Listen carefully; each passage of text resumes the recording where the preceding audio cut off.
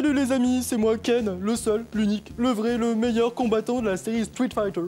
Alors accrochez-vous parce qu'aujourd'hui on va parler du célébrissime jeu de baston Street Fighter 2, un jeu d'arcade développé par Capcom et sorti en 1991, puis adapté notamment sur euh, Super Nintendo.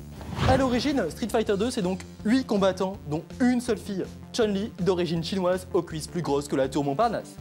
Mais il y a aussi Ryu, le karatéka comme moi, Guile, le Marine américain, Honda, le sumotori, Dalzim, l'asset indien, Blanca, l'espèce de bestiole amazonienne, et Zangief, le célèbre sans slip.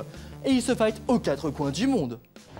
Street Fighter 2 a connu de nombreuses déclinaisons dont Champion Edition, Super Street Fighter 2, Super Street Fighter 2 Turbo, et j'en passe, parce que je cite pas tous, euh, moi-même euh, je m'y perds. Mais je peux dire qu'elles apportent toutes des nouveautés, comme par exemple de nouveaux combattants, comme la génialissime Camille, l'anglaise à la cuisse gracile. Et pour connaître un peu mieux les coulisses de la création du jeu, voici une interview de Keiji Inafune qui a participé à son développement et que j'ai pu rencontrer à Japan Expo 2012. Allez, on s'écoute ça.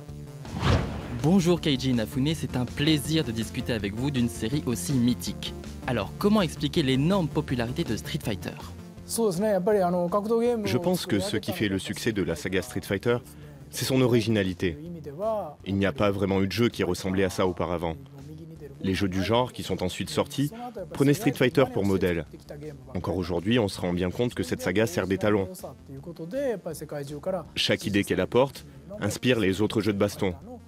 En fait, en quelques mots, on peut dire que c'est vraiment LA référence du jeu de baston. J'imagine que vous avez un personnage préféré dans la série, non? Je me demande bien qui ça peut être. Une petite révélation rien que pour nos téléspectateurs? Alors, Street Fighter premier du nom, c'est vraiment le tout premier jeu sur lequel j'ai travaillé.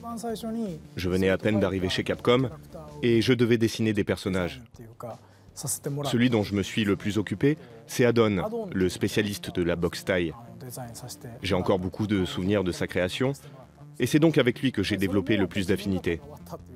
Tout simplement parce que c'est un personnage que j'ai contribué à créer et dans lequel je me suis beaucoup investi. Voilà, c'est l'heure pour nous de se quitter. N'hésitez pas à liker ma page et celle de l'émission et à nous suivre sur le réseau social du Petit Oiseau Bleu. On se retrouve très bientôt dans un nouveau Lost Levels, mais surtout, évitez le game over.